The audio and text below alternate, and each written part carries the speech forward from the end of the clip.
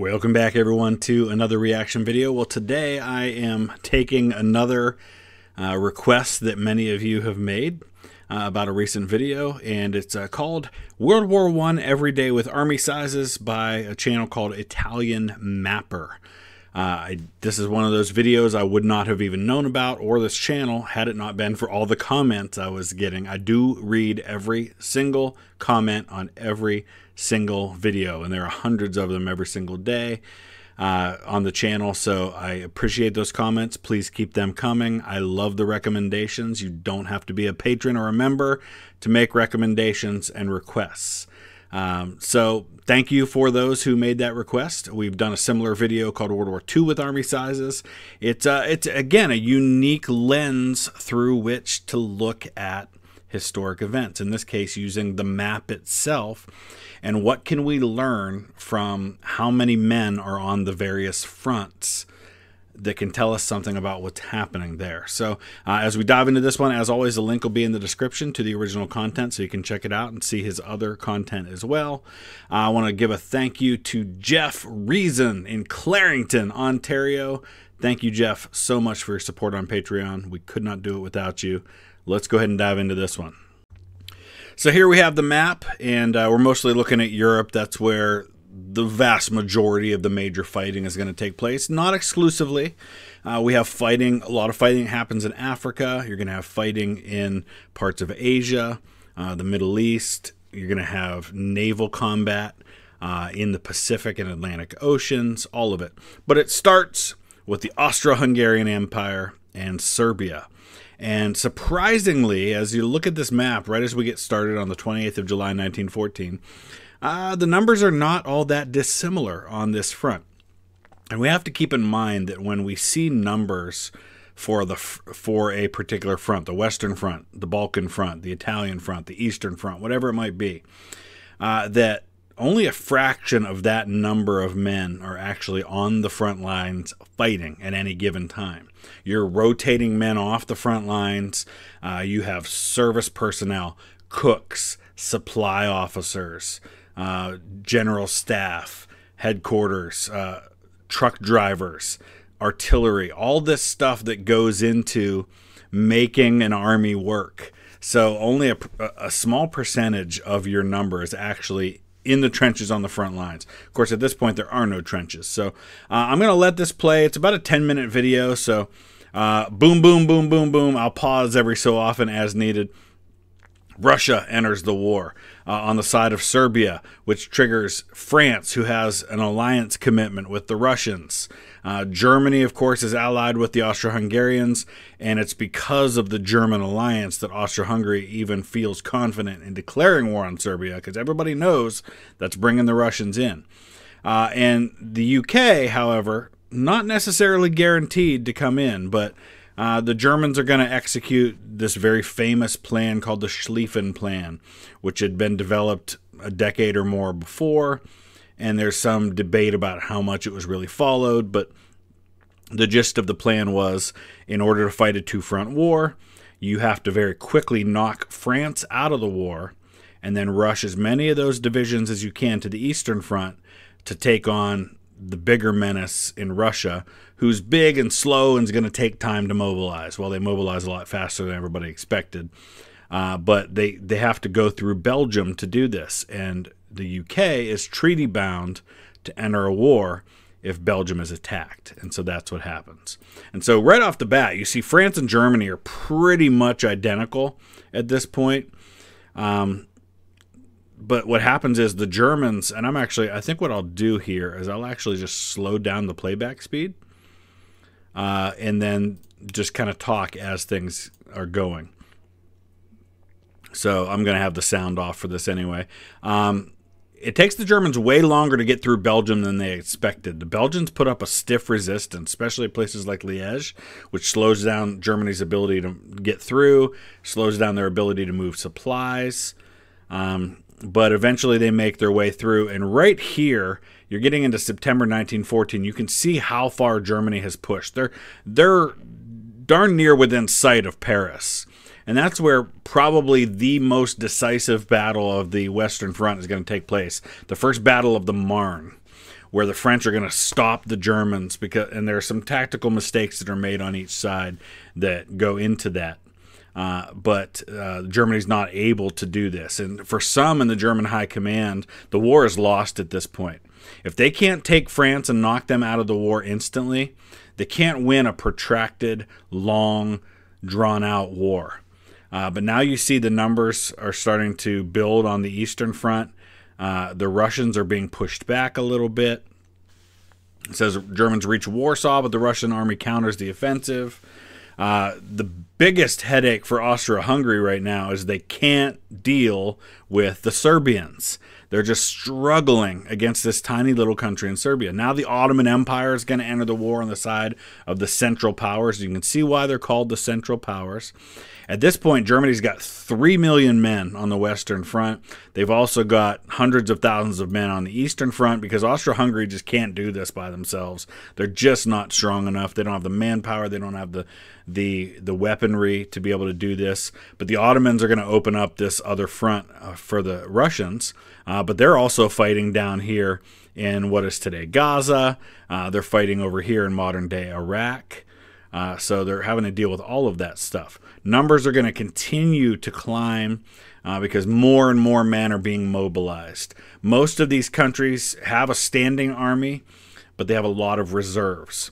Uh, so now we are up to the Christmas truce. By this point, uh, trench warfare has kind of set in all the way from the uh, English Channel, the North Sea, all the way down to the border with Switzerland. And I should mention here that I'm going to use the term allies to refer to that group that includes France, the UK, Russia, Serbia, and eventually others like the United States and Italy. Uh, they were early on known as the Triple Entente because uh, originally there was something called the Triple Alliance, which was Germany, uh, Italy, and Austria Hungary, but that isn't part of this war. That was earlier, a decade or so before. Uh, so we have the Central Powers and the Allies. Those are the terms I'll use. Allies was the term that was often used to refer to them, especially later on in the war. So, uh, so at this point, things have pretty well stabilized on the Western Front. You can see just a tiny sliver of Belgium that is still in Allied control. Most of the country, including a, a nice chunk of France as well, uh, are controlled by the Germans at this point. So now the UK is going to start mobilizing a massive volunteer army. Up until this point, they're a pretty small professional uh, regular army force, but most of their regular army is going to be wiped out on the Western Front in 1914 at places like Ypres. Uh, and so they're going to start ra- raising these what are called service battalions. They're, they're going to be known as the PALS battalions. Uh, and so at this point, you can see massive manpower advantage for the Germans on the Western Front. Things are pretty even on the Eastern Front, uh, but the Germans are going to start pushing back. They've won the battle. Um, at uh, oh gosh, what's the name of the place now? This is what happens when I do these things. I can't remember the names uh, of uh, battles and things like that uh, on the fly like this, but uh, pretty well stabilized. You can see the numbers going down for the Germans, going up for the Allies because the Allies are.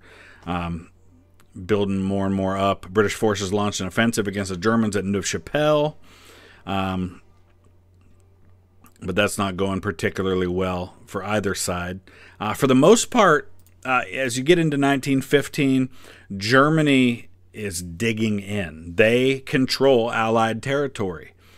Uh, the Allies, the, the impetus is on the Allies on the Western Front to attack. And so the Germans are digging in, they're digging in strong. They have they tend to have better trenches, more developed. Uh, they'll have electric lighting and beds and all kinds of stuff built down into these barracks underground.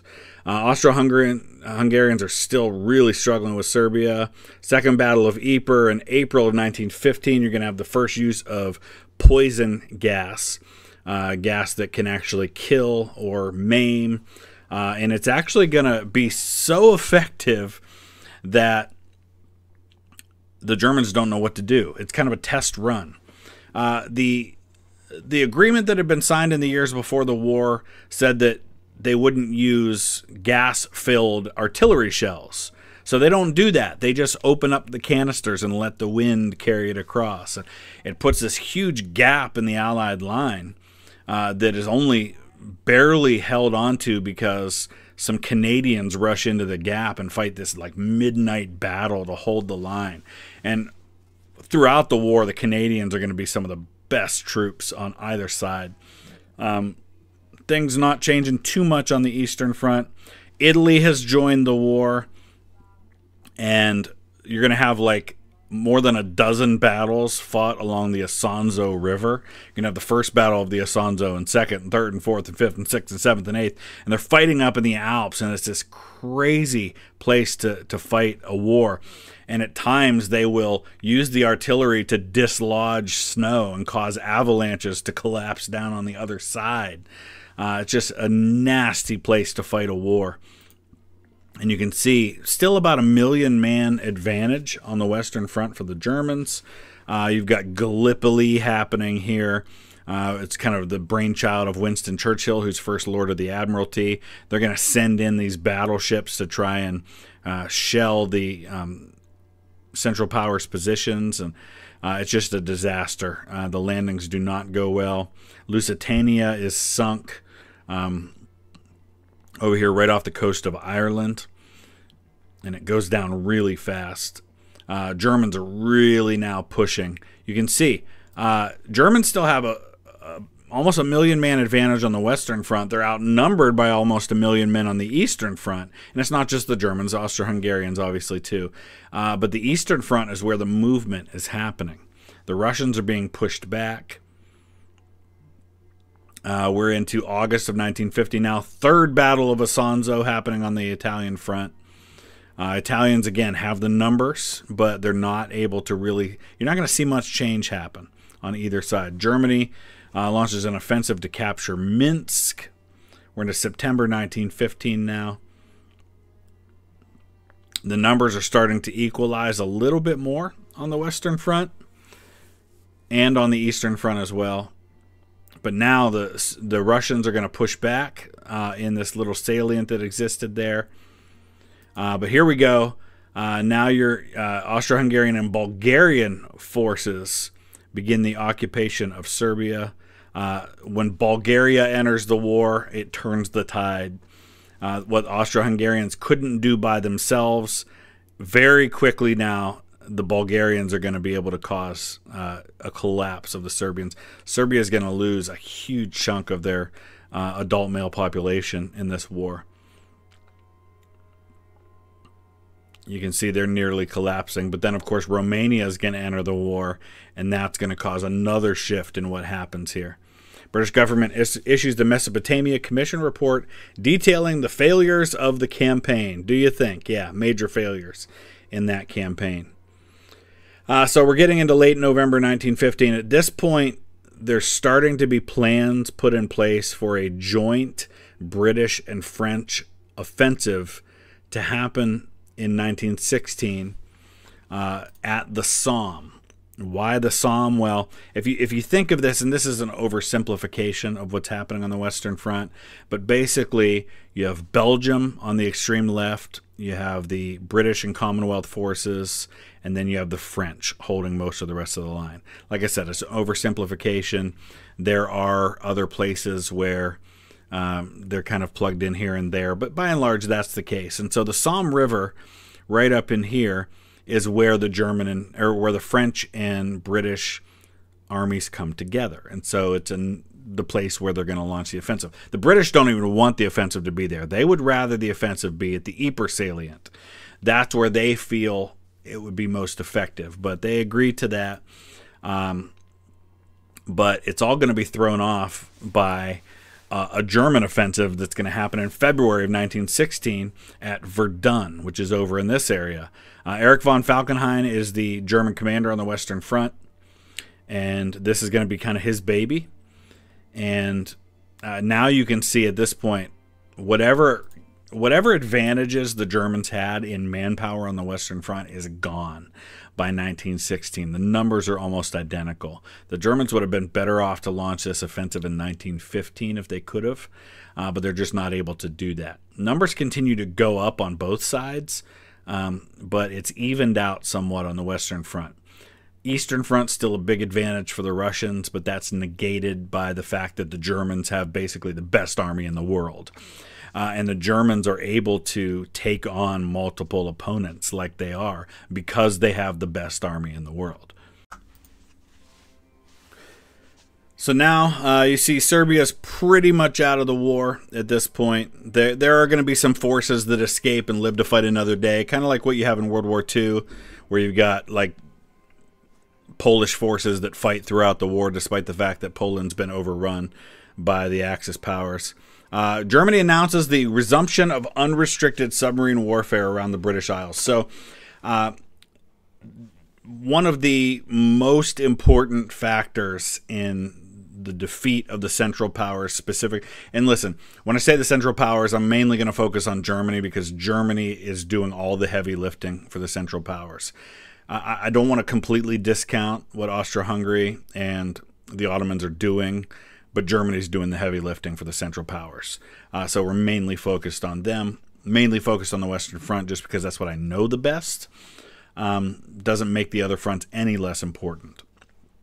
But uh, one of the major factors in bringing Germany down is a Allied blockade of German ports. Uh, the British don't have a huge army at the start of the war, but they do have the most powerful navy in the world, and they're going to use that. Uh, rule Britannia, rule the waves. Uh, so they're going to blockade German ports. It's going to make it very difficult for Germany to import all of the supplies they need. They've got the most powerful army in the world, the best army in the world but they don't have enough on their own to feed and sustain their army. So they've got to import a lot. And uh, so they're counter to that because they can't go toe to toe with the, the British Army. There had been kind of this naval arms race in the, late, the years leading up to the war. Uh, and you have one battle at Jutland off the coast of Denmark uh, where some ships are going to be sunk, but by and large, the Germans are going to basically keep their their navy in port for most of it. Uh, but they do have U-boat technology, these untersea boats, these submarines. And they're going to use those. And so they're going to impose their own form of a blockade on British ports. And what that is, is basically they're going to kind of create this zone around the British Isles. And they're going to say any ships that enter this zone are fair game. Be warned and they're warning they're running ads in places like New York City warning people if you get on a ship that is bound for this zone uh, going to say Liverpool or to Portsmouth or to Queenstown. Uh, understand we may sink you. Unrestricted submarine warfare is what that's called. And so the Lusitania for example it's a passenger liner but it's carrying munitions and supplies for the British Army. Uh, and so it's sunk by this unrestricted submarine warfare. Um, and it's going to be the resumption of unrestricted submarine warfare in 1917 that's going to be one of the major factors that brings the United States into the war. All right, so Verdun, one of the deadliest and most horrific battles in human history, is unfolding in Verdun, uh, this heavily fortified uh, French city that's on the border. Uh, you have Peru join. I mean Peru, Portugal joining the war now, and one by one new powers are joining the war here and there. Um, British Royal Flying Corps conducts its first strategic bombing raid of World War One. Uh, the Germans are bombing cities in London. It's like the Blitz in World War II. Cities in the UK. Uh, so like London is getting bombed. It's it's airships. It's uh, you know think of the Hindenburg, but in World War One airships are going to drop bombs, and then they're going to create these big uh, airplanes, these Gotha bombers that are going to attack. And uh, of course, it's it's kind of an interesting thing when the bombers from Germany are called Gotha bombers, and Gotha is actually part of the name of the British royal family. They are the house of Saxe Coburg and Gotha.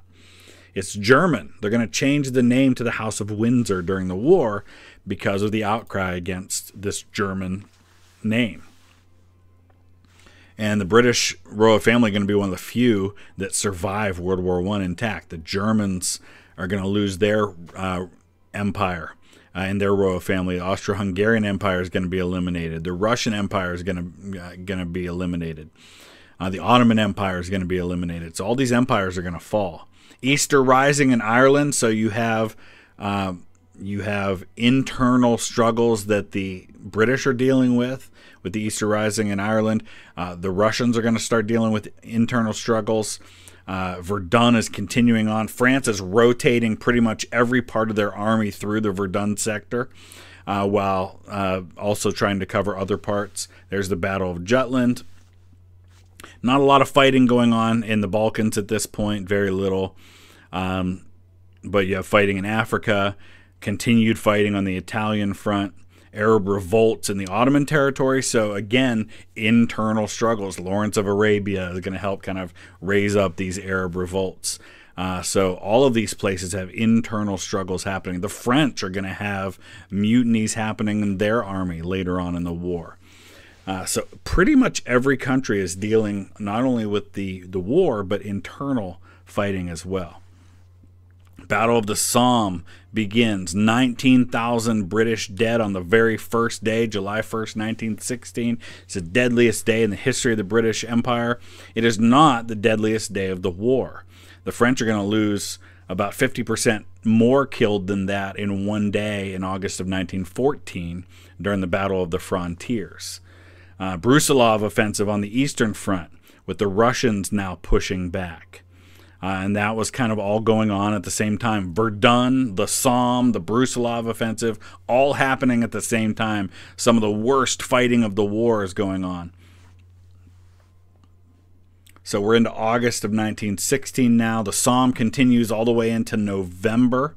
Uh, when things are going to kind of settle down, you'll see that they've taken a little bit of territory, but by and large, uh, the Western Front, the borders, at least when you're looking at it from this far up, aren't going to change all that much uh, during the war. Until 1918, you're going to see some big swings happen. Uh, now, Romania has entered the war on the side of the Entente, the Allies. They want to take Transylvania. It does not go well for the Romanians. Romania sees some initial gains, but then the Bulgarians are going to come in and say, boom, no, it's not happening. Uh, and, and so now you see five million on the west or on the eastern front for the Allies. The Germans and the Austro-Hungarians are outnumbered two to one on the eastern front, but that's not going to stop them from basically eliminating the Allied threat on the eastern front. Battle of Flers-Courcelette, the first use of tanks. Uh, Flers-Courcelette, that's part of the Somme offensive. That's all part of the, what we call the Battle of the Somme. Uh, German submarine warfare continues. Now you see Romania is collapsing. The Somme uh, comes to a close. Uh, that'll actually end with some offensives in November of 1916, not really October. Um, but now the Germans have an advantage again on the on the western front, slight one. But watch how much the numbers are collapsing on the eastern front. It was over five million not long ago. Now it's down to four and a half million. It's going to collapse even more. Britannic sinks in the Aegean Sea after hitting a mine. Uh, that is a sister ship to the Titanic. It's a, I believe, a hospital ship. Uh, total collapse for Romania on the eastern front. David Lloyd George, who's Welsh, becomes prime minister in the UK. Uh, look at those numbers just collapsing on the Eastern Front. Uh, going to get into 1917, and we're going to see Russia start to fall out of the war as their internal struggles come to a head. Uh, the czar in Russia is going to abdicate, and you're going to have a, a new government come in the Zimmerman telegram sent to Mexico uh, against the USA. So, a couple of things are happening now as we get into 1917. Germany's resuming unrestricted submarine warfare. Uh, they see a window of opportunity as the Russian front collapses for the Russians, uh, and they're going to see an opportunity here uh, to maybe win the war before what they believe is the inevitable entry of the United States on the side of the Allies. And so, with the Allied uh, entry into the war for the Americans, the Germans are looking for ways to keep America occupied. So, what do they do? They send a message to their ambassador uh, in Mexico City saying, hey, tell the Mexicans if they will jump in the war on our side, we'll make sure they get all the territory back that they lost to the United States in the 19th century. We're talking California, Texas, New Mexico, Arizona, Nevada, those areas. Uh, remember, it hasn't been that many decades since that was Mexican territory. Um, and, and, so uh, Mexico has also just gone through a civil war of its own. There have been some conflicts with the United States. In fact, John Pershing, who's going to be the American uh, Expeditionary Forces commander on the Western Front in Europe, uh, had led what was called the um, Mexican Punitive Expedition, which was this expedition into Mexico to try and capture this bandit Pancho Villa. It involves Pershing, it involves George S. Patton, who's on Pershing's staff. So, anti German sentiment grows stronger in the United States. Remember that the United States is a nation of immigrants, and there's no greater immigrant population in the United States than German Americans. And so it wasn't a foregone conclusion the United States would enter on the side of the Allies. But as propaganda plays out, the evil Germans, they committed atrocities in, in Belgium. They are the first to use poison gas on the Western Front. They are sinking uh, ships that have Americans on them, like the Lusitania. They're the bad guys in this war. That's how this is all spun. Uh, so now you're down to just 3.7 million on the Eastern Front. February Revolution occurs in Petrograd, uh, which is later going to be called Leningrad, St. Petersburg. Um, so the Russians are at this point going to start ceasing to be an effective military force on the Eastern Front.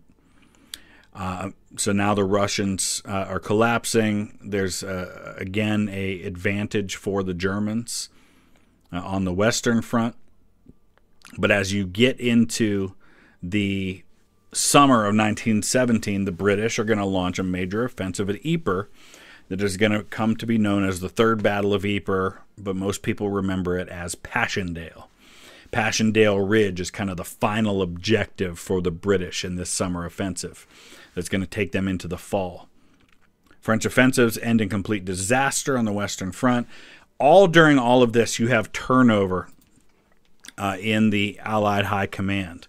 Uh, General French for the British is going to be replaced by um, by another general named uh, Sir Douglas Haig. Uh, the German commanders at this point uh, it starts out as Moltke, and then it's going to be Falkenhayn in the fall of 1914. And then when Falkenhayn fails to uh, win the Battle of Verdun, he's going to be replaced by uh, the heroes of the Eastern Front, uh, which are Hindenburg and Ludendorff, who are going to come to the west to take on uh, the the Allies. Uh, Robert Nivelle is replaced. as commander of the French army after military failures. Eventually, you're going to get Ferdinand Foch, who's going to be the not only the French high command but the Allied commander. He's going to be the Eisenhower of the Western Front in command of all Allied forces. So uh, the Ottomans are going to start to collapse as well. Greece enters the war on the side of the Allies. Again, very little has changed on the Italian front during all of this. Lawrence of Arabia leads the Arab revolts and the capture of the Ottoman port of Aqaba. So now you see from what was over 5 million on the Eastern Front is now just 2.8 million. 1917, July 1917, uh, you're going to have the execution of, um, I think it's July 1917, the execution of Tsar Nicholas and his family. Now, I had to pause and think about that. It's July of 1918 is when that happens. Uh, Third Battle of Ypres uh, is the offensive that is launched by the Allies. Starts with Messines Ridge, which is this massive explosion of mines on the Western Front. The largest mine explosions at one time that we're going to see during the entire war. So both sides, the numbers are weighed down all the way along all these fronts. You, have got millions and millions of casualties by this point. Every one of these major offensives is going to be like the cause of a million or more casualties. small territorial gains on the Western Front. You're, September into October, early November, the Allies are going to finally capture Passchendaele Ridge, but horrendous casualties in doing so. It's like a million casualties on the two sides uh, for the Third Battle of Ypres. Uh, at this point, though, the, the Russians are basically out of the war, down to 2.2 million. Uh, but a lot of what you're seeing here is not necessarily killed and wounded. It's a lot of guys that are just done and they're like, I'm out, I'm going home, I'm not fighting anymore on the Eastern Front. Uh, Caporetto results in a total Italian catastrophe. Uh, now, for the first time, you see the numbers almost equalized on the Italian front. Uh, now, civil war in Russia. Russia's out of the war at this point. So here's what's going to happen now. At this point, there's this window of opportunity for the Germans the Germans, once they don't have to deal with Russia anymore, they're going to load up like 50 divisions from the Eastern Front. They're going to send them to the West. At this point, the United States has entered the war. They declare war in April of 1917. But it's not going to be until like the summer of 1918 that the U.S. is on the Western Front in any big numbers. So there's that window where Russia's out, but the U.S. hasn't shown up yet in big numbers. And so this major spring offensive is planned by the Germans. Uh, it's it's sometimes called the Kaiserschlacht offensive. It's known as the Spring Offensive, the Ludendorff Offensive. It's actually a series of offensives. There's like Operation Michael and Operation Georgette and Blucher Yorck, and um, this is meant to break the back of the Allies. So here's what they're going to do. Again, remember I said Belgians and, and uh, British and Commonwealth forces. And when I say Commonwealth forces, I mean the Canadians, the Australians, the New Zealanders, the South Africans. There's Indians on the Western Front, uh, people from the Caribbean, all of this stuff. The French have Moroccans and Algerians and others. Uh, so they're going to try to bust through uh, that area where the British and the French come together. So they're launching an offensive at the Somme. There, it's an offensive at Ypres. Uh, it's all of these places, and they're going to try to drive the British out of the war. You drive the British out of the war, the French aren't going to hold. The French are on the verge of collapse themselves. They've had mutinies. Uh, it's not going well for anybody. Uh, but what happens is that, uh, again, they're stopped at, at the Battle of the Marne. And that's where you're going to have the Americans make a name for themselves at places like Belleau Wood uh, you're going to have the 3rd Infantry Division for the Americans at the Marne River. Uh, they're actually going to be known forever after this as the Rock of the Marne Division. Uh, but again, it's mostly the French and the British that are doing the heavy lifting here. Uh, so Germans take a bunch of territory and they get some really uh, positive concessions for themselves. The Treaty of Brest-Litovsk is going to end the war on the Eastern Front, but the the Germans have already sent most of these most of these men to the west uh, to try and win the war before the Americans arrive. Now, get a glimpse right here, real quick. You're down substantially on the Western Front, right? There had been five, six, seven million men fighting on the Western Front. Now you're less than three million at this point because uh, the casualties and the attrition are just that severe. Uh, so you're going to see German gains in April and May of 1918. The war in the East is basically over. The war in the Balkans is still going on. The war uh, in the Italian front is still going on. But now watch the numbers in April 1918. Allied numbers going down substantially. German numbers going down substantially. The Finnish Civil War ends uh, up here. Uh, so that's happening. Allies at this point are down to almost only a million men. But now the Americans are showing up. Now the numbers start climbing again on both sides. Watch the line. The Germans are gonna are gonna push the line forward here in May and June, but it's only temporary. But now the numbers are starting to climb again on both sides. You can see the Ottomans make some pushes forward, but basically they're going to collapse. Here comes the the last gasp of the German army, June of 1918. They're going to once again get super close to Paris, but once again be stopped at the Marne. They're going to be stopped at Chateau Thierry, at places like that. Um, now the uh, the Allies are going to launch what's called the Hundred Days Offensive. When the when the German offensive runs out of gas, now it's going to be a counteroffensive by the Allies. The Hundred Days Offensive. You're going to have um, the Americans launch their first attack at Saint Mihiel down here on the the right flank. Uh, for the first time since all of this began, there's a numerical advantage for the Allies on the Western Front. That's a combination of the Germans running out of steam and exhausting their last reserves. It's the Americans arriving in huge numbers. So 1914 and 1918, both times the Germans get as close as they're ever going to get to Paris, but they're stopped at the Marne River. And now Allied counterattacks are going to finish off the Germans. And the Germans are just going to collapse. Now watch as it pushes forward. Meuse-Argonne is down here. It's going to be a south to north offensive. It's the largest battle in the history of the American armed forces.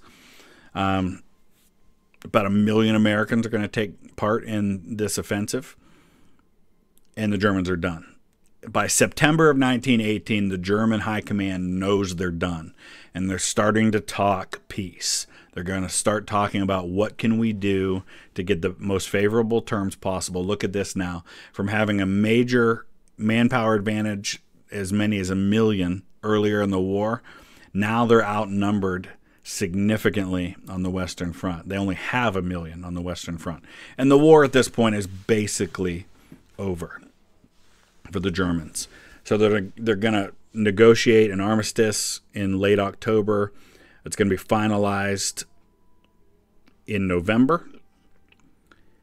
And the last day of the war, November 11th, 1918, uh, the armistice is going to be signed around 5 a.m. Uh, but fighting is going to continue all morning. The Allies are going to push and push and push and try to take a little bit more territory on that last day. And now you can see uh, the Austro-Hungarian Empire is collapsing. These all these territories, they're out of the war. Now it's just Germany at this point. Armistice of Compiègne is signed, and that's it. That's the end of the war. I missed a lot. I was just trying to kind of talk about some of the highlights, and you can just see how there were definitely opportunities in there for the for the Germans to win at different times. So let me know your thoughts. Uh, what are some other things that you noticed that maybe I didn't highlight? Because I was, you know, obviously my eyes are only focused on one area at any given time. So were there other things that you mentioned I didn't, you observed that I didn't mention that you think are worth highlighting in looking at all of that? Let me know. I want to thank Ted Komet and Jason Hughes. Jason's from New Lenox, Illinois. Thank you guys for your support on Patreon. Could not do it without you. Uh, please check out my channel, Stories of the Great War. It is a completely dedicated to World War One history uh, channel, all original content. I'm going to be uploading some new videos in the coming weeks on that channel as well. Hope you enjoy it. We'll see you again soon. Thanks for watching.